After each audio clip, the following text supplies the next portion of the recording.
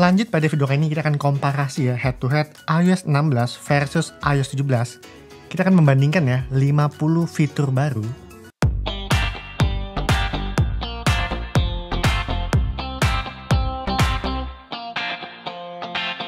Yang pertama ngomongin perbedaan di tampilan lock screen ya. Lock screen setup iOS 16 dan iOS 17.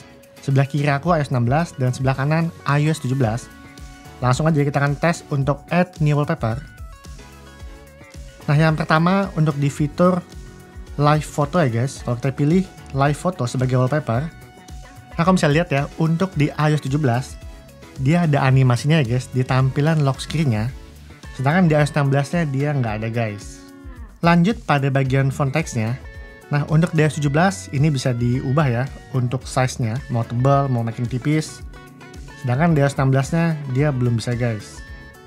Dan buat mengembalikan ke bawaan defaultnya untuk ukuran teks, teman-teman cukup double tap aja ya.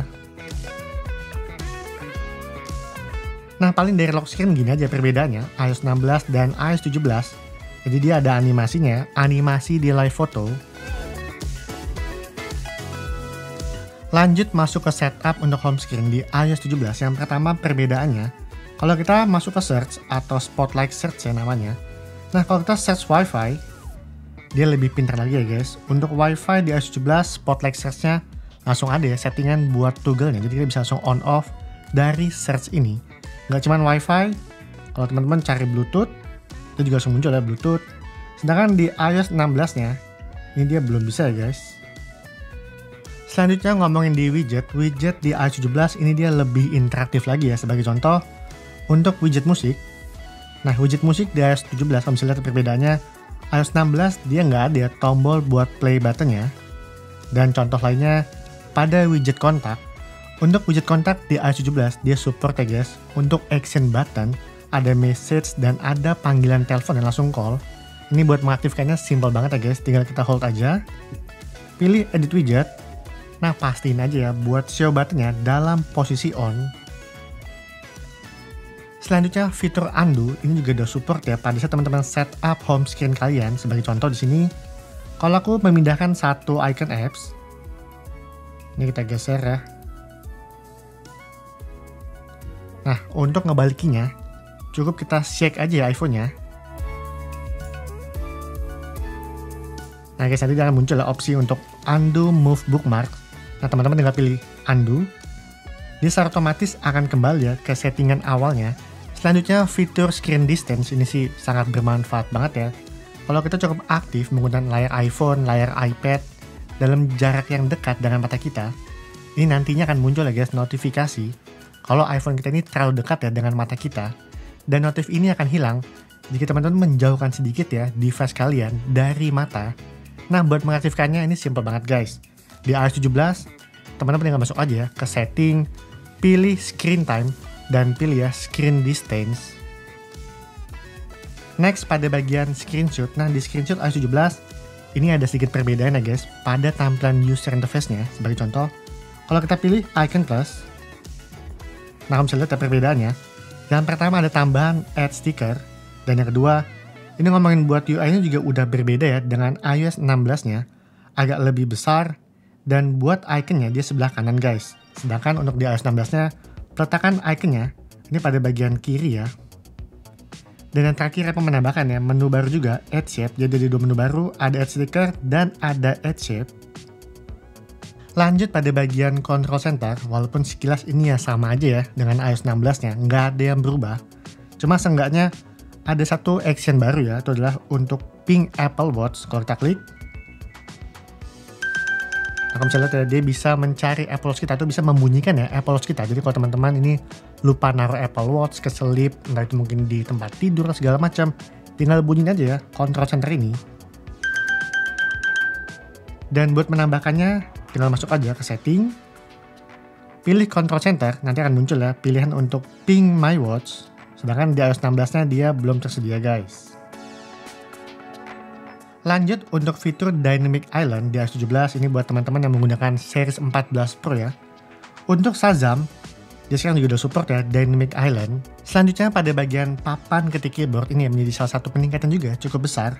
Agak receh cuman sangat bermanfaat guys. Sebagai contoh, kalau kita zoom ya di bagian teksnya, untuk magnifier teksnya ini lebih besar ya ketimbang iOS 16-nya. Lanjut yang kedua, kalau kita select text, kita pilih select. Untuk iconnya pun juga lebih besar ya buat icon teksnya. Untuk icon select text ya guys, ini juga lebih besar. Jadi kita buat menggunakannya ini yang lebih mudah juga ya. Selanjutnya ada di aplikasi foto, kalau kita buka foto, yang pertama guys, kalau kita zoom satu image, untuk DS17 dia akan muncul ya untuk fitur auto crop. Dan yang kedua, kalau kita klik crop, ini juga iOS 16-nya kita pilih crop. Nah, kamu bisa lihat ya, untuk UI-nya ini juga sedikit berbeda ya guys. Pada bagian paling atas, pada bagian paling bawah, ada sedikit aja ya perubahan untuk di setiap masing-masing iconnya. Dan yang terakhir, untuk di aplikasi foto dia juga udah support ya langsung add sticker. Kalau kita hold satu objek atau satu subjek. Nah di iOS 16 dia hanya muncul tulisan copy dan share. Sedangkan di iOS 17 ada tulisan ya copy, add sticker, dan share. Kalau kita pilih add sticker, dia akan langsung nambah ya ke koleksi stiker kita. Dan gak hanya stiker aja ya, ada lagi pilihan menu add effect di bagian stikernya ya. Kalau kita klik stikernya, ada pilihan menu add effect. Kalau kita klik, di sini ada 5 ya, 5 animasi atau 5 filter yang bisa kita gunakan.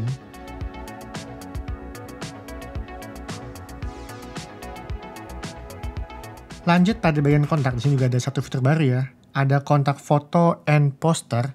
Sedangkan di iOS 16 dia gini aja ya. Dan di iOS 17 ya ini ada sedikit penambahan kecil aja atau perubahan sedikit. Jadi kalau teman-teman udah di iOS 17, teman-teman tinggal masuk ke kontak, pilih kontak and poster dan pilih edit Nah, di sini teman-teman bisa mengcustomize ya untuk poster kalian. Bisa menggunakan foto, bisa menggunakan emoji, maupun monogram. Selanjutnya, fitur live voicemail. Kalau teman-teman lagi berhalangan buat ngangkat telepon, ini nantinya secara otomatis pada bagian lock screen kalian, ketika ada panggilan telepon, ini akan muncul juga ya untuk dukungan live textnya. Jadi sementara teman-teman nggak bisa angkat, cuman teman-teman tetap bisa membaca isi pesannya. Lanjut, fitur device time juga udah berbeda ya buat tampilan UI-nya. Ini adalah merupakan tampilan UI ketika teman-teman habis menelpon seseorang namun mereka nggak bisa mengangkat. Di iOS 17 ada pilihan ya buat record video, jadi buat teman-teman ini bisa meninggalkan pesan ya. Sedangkan di iOS 16-nya dia belum support guys. Dan ngomongin buat tampilan UI-nya, ini juga agak berbeda sedikit ya pada bagian bawahnya. Callback, cancel, leave message. Kalau di iOS 17, kalau gain dan record video. Selanjutnya fitur baru di aplikasi Safari ya guys. Nah di sini sebagai contoh yang pertama, kalau kita klik icon A sebelah kiri bawah, di iOS 17 ada fitur baru ya, listen to page. Dan kalau kita klik listen to page, dia akan membacakan ya isi pada bagian teks website Apple launches Beat Studio Buds Plus with transparent design in more countries. Lanjut, kalau kita masuk ke private browser, kita geser ke atas, kita pilih private browser, kita geser ke kanan. Nah, untuk melihat isi kontennya, dia membutuhkan password ya guys entah itu Face ID maupun Touch ID. Sedangkan buat di iOS 16-nya kalau kita pilih private, nah dia nggak ada password apa pun ya, langsung bisa diakses. Next, buat clear history ini juga ada sedikit perubahan UI ya guys. Kalau kita pilih icon bookmark pada bagian bawah dan pilih untuk history, nah di sini akan muncul ya pilihan clear buat history. Kedua juga sama. Dan kalau kita klik, Nah ini ada perbedaan ya guys. IOS 17 ini muncul UI baru. Last hour, today, yesterday, all history, dan pilihan menu langsung ya. Untuk close all tabs. Sedangkan buat di iOS 16-nya, dia gini aja ya. Di satu menu yang sama, atau satu UI yang sama ya. Lanjut ngomongin di fitur iMessage, iMessage iOS 16 dan iMessage iOS 17 kalau kita buka. Nah yang pertama ya, untuk di iOS 16 ini UI-nya masih di bagian bawah ya, UI buat menu di iMessage. Sedangkan di iOS 17 ya, teman-teman harus klik dulu ya icon plus. Dan dia baru muncul ya untuk menunya. Dan menu ini pun teman-teman juga bisa ubah lagi ya buat urutan posisinya. Sebagai contoh, location aku edit ke paling atas. Stiker nomor 2. Audio nomor 3.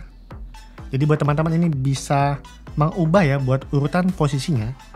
Selanjutnya fitur swipe to reply. Jadi kalau kita membalas, cuma tinggal kita geser aja ya ke kanan Nah teman-teman bisa langsung reply ya isi pesan teksnya. Sedangkan buat di iOS 16-nya dia belum bisa guys. Selanjutnya peningkatan pada bagian stiker. Jadi kita bisa menggunakan stiker ya di iMessage. Dan teman-teman juga bisa bikin baru ya stikernya. Tinggal kita pilih add. Dan sebagai contoh untuk yang mobil, nah dia akan secara otomatis langsung ya mengekat buat backgroundnya. Tinggal pilih add to sticker. Nah dia akan langsung masuk ya ke bagian stikernya. Selain stiker di sini ada fitur lagi ya, fitur untuk check-in. Nah ini guys fitur check-in.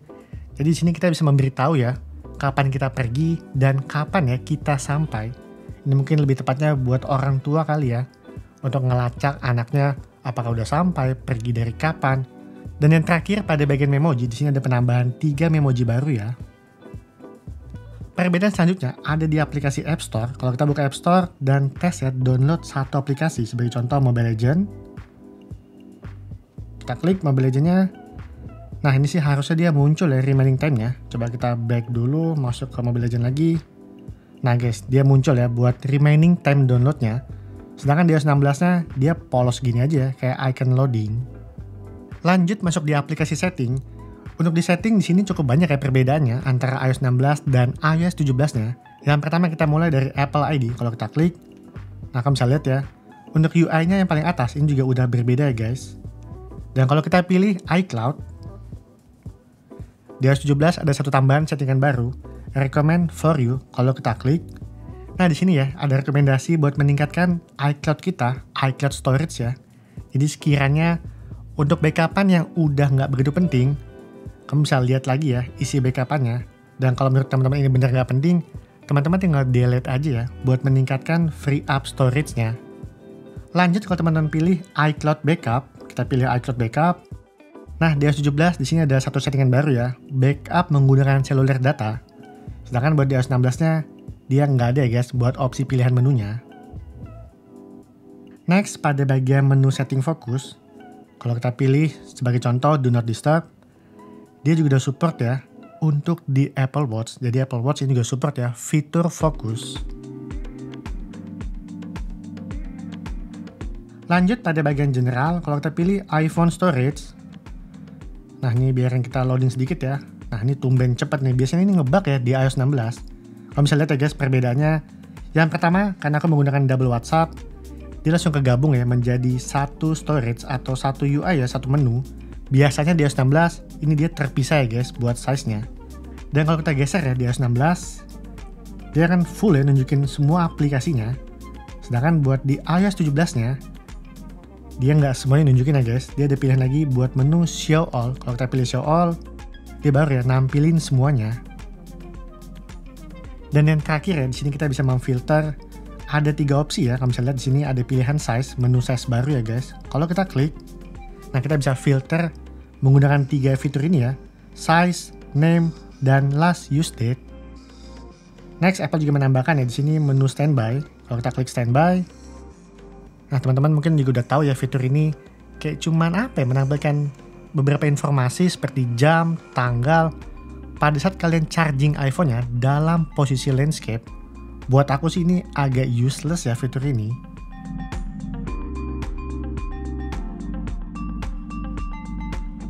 Next ngomongin di Siri, Siri di S17 kita buat manggilnya nggak perlu Hey Siri. Kalau kita klik di sini Listen for, kita bisa manggilnya menggunakan Siri aja ya, tanpa Hey. Next pada bagian privacy and security ini juga aku udah sering bahas ya. Ada menu baru sensitive content warning. Kalau kita klik, di sini dia bisa mendetek ya foto-foto atau video yang berbau agak porno. Next, pada bagian setting password, di sini ada sedikit perubahan UI-nya ya, tipis-tipis. Ada penambahan icon baru ya guys. Di security recommendation, password option, dan ini ya yang baru, share password and passkey. Nah, di sini kamu bisa share ya password dan passkey kalian. Tujuannya buat apa? Kalau sekiranya teman-teman ini lupa password atau segala macamnya, kamu bisa menggunakan recovery-nya ya dengan orang-orang yang udah kalian tambahkan di dalam share password ini. Selanjutnya fitur recently delete. Jadi kalau teman-teman habis delete password, kita bisa ngelihat kembali isinya atau kita bisa recovery ya. Dan gak cuma itu aja guys. Ini menurut info juga nanti ke depannya. Untuk password ya guys, kalau kita habis mengubah password, ini buat password lamanya, kita masih bisa ngelihat ya sampai 72 jam ke depan jadi kalau sekiranya teman-teman habis ganti password, tahu-tahu kalian lupa, Nah, teman-teman bisa cek kembali ya password lamanya. Lanjut pada bagian password option, kalau kita klik, di sini ada fitur baru ya, clean up automatically verification code. Jadi buat isi pesan teks, isi pesan email juga yang merupakan verifikasi kode, ini akan secara otomatis ke delete ya guys. Kalau teman-teman udah habis menggunakannya, menggunakan fitur autofill password, lanjut pada bagian kamera, kamera setting. Yang pertama, kalau kita pilih record video, nah sini ada fitur baru ya, lock white balance, ini sih benar-benar penting banget ya kalau kita lagi syuting video. Jadi buat balance-nya ini nggak berubah-berubah ya, karena ini cukup mengganggu banget ya dalam perubahan warnanya.